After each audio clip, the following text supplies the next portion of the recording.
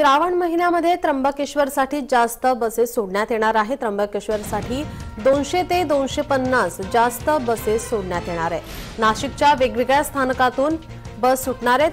दर दोन मिनिटांनी बस सोडण्याचं महामंडळाकडून नियोजन केलं गेलं आहे. श्रावण महिन्यात त्र्यंबकेश्वरला मोठ्या प्रमाणात भाविक दर्शनासाठी जातात.